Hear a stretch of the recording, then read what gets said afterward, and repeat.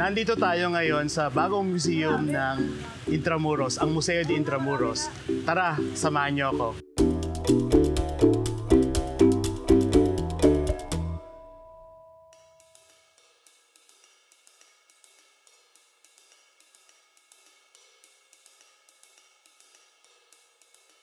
Makikita ang Museo de Intramuros sa dating kinatatayuan ng lumang Casa Misyon ng mga Iswita. Katabi nito ang simbahan ng San Ignacio na binomba noong World War II. The property was turned into an office and a warehouse space in the 1950s but was later abandoned.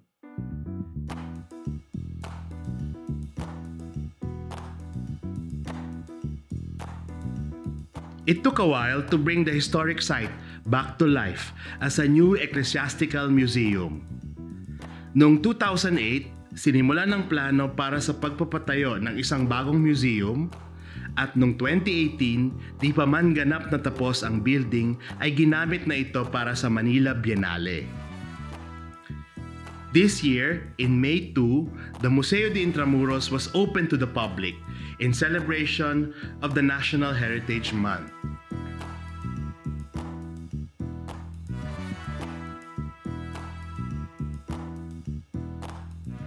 Ang Museo de Intramuros ay actually 40-year-old na project. So sinimulan to noong 1979 nung si ang unang-unang administrator ng Intramuros si Minister Jaime Laya at mga kasama niya noon nag-collection sila. They actually did all collections from the ecclesiastical art. So, galing sa iba't ibang uh, lugar to sa Pilipinas, no, sir? So, kinolect ng Intramuros Administration Yes. to be preserved. No? Yes, And then, yes. for the first time, mapapakita ito as a whole sa sa public through this museum. Yes. So this is actually a uh, fulfillment ng matagal ng pangarap ng lahat na makita yung koleksyon ng Intramuros Administration. So we're fulfilling that dream at uh, ang makikita nyo ngayon is only the first exhibition. We're actually only showing 30% of what we have because kung titignan nyo, maliit din ng uh, espasyo ng museo. At gusto rin namin, laging may dahilan para bumalik ang mga tao dito.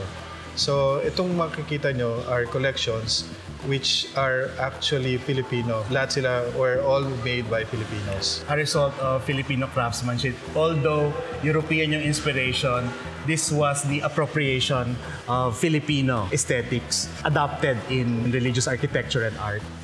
Tama Gerard, kasi kaya nga tinawag namin dito ah, the Indio response.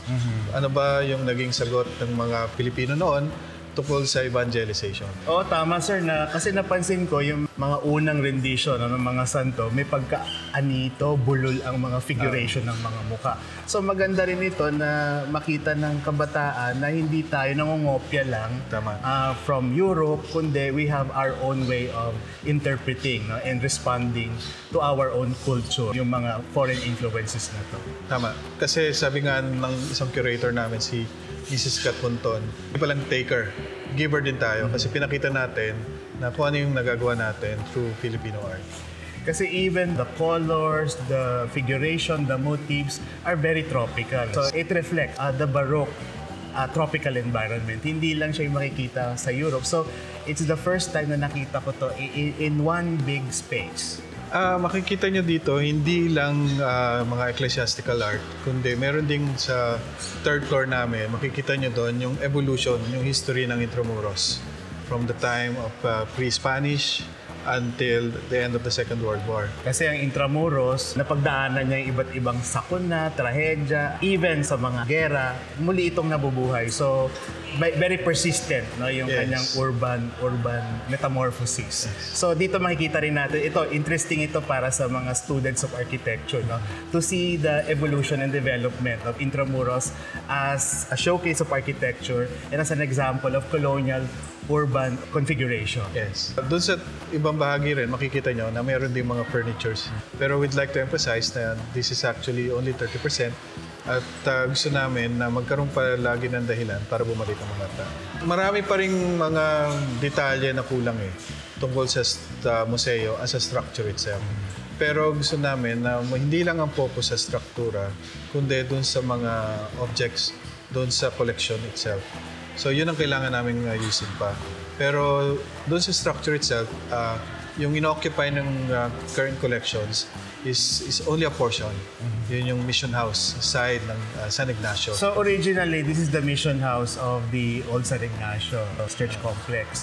So it's a reconstructed building. yes. So maganda nga rin, makikita rin ng mga tao na yung remnant, no? may mga parang archaeological finds tayo sa ibaba na Yes. naka-expose so that the public can appreciate the history and the layers upon layers of history na na-incur no? ng, ng structure na ito. Tama, tama.